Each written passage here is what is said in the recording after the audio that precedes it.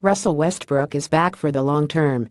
What follows Westbrook simultaneously shook up the NBA and solidified the Thunder by signing a five-year, $205 million extension to stay in Oklahoma City. The contract is the biggest in NBA history. Tack on Westbrook's $28.5 million salary for this season, and the total salary is $233 million over six years. The implications of Westbrook's new deal go beyond the numbers. It's a decision that will have a major influence on the future of the franchise. The effect on Carmelo Anthony and Paul George Westbrook returning could be a big selling point to Anthony staying in Oklahoma City more than one season. Anthony is in the final guaranteed season on his contract. He has an early termination option in his contract for 201,819 which he could trigger, allowing him to become a free agent in the summer of 2018.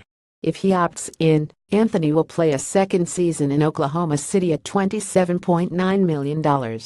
But Anthony will be 34 in May and likely won't command more than that per season in free agency. In addition to the guaranteed money Anthony gets in returning to Oklahoma City, he now knows Westbrook will be here long term. Westbrook signing is confirmation at least one star is sticking around, and it gives Anthony more incentive to remain with a winner after four consecutive losing seasons in New York.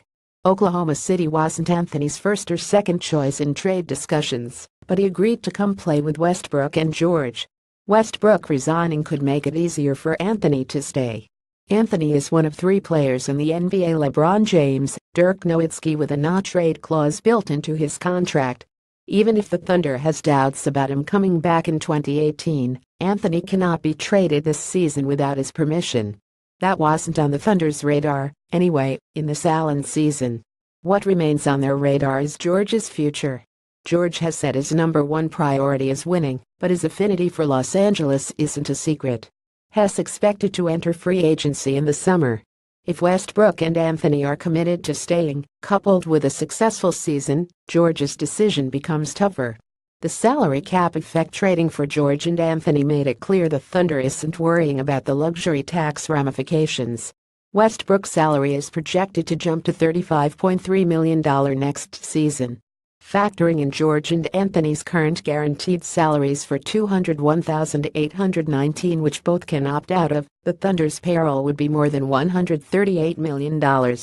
That's a best-case scenario. If George and Anthony play out next season at their respective 201,819 salaries of $20.7 million and $27.9 million, the Thunder's projected luxury tax bill this year, after acquiring Anthony nearly $27.8 million. It will be bigger if Anthony and George return, with a final number dependent on the NBA's revenue from the upcoming season. Should they want to sign extensions with Oklahoma City, the Thunder can go over the salary cap to sign Anthony and George. It'll just be expensive, something the Thunder isn't afraid of considering they'd be fielding one of the strongest teams in the league.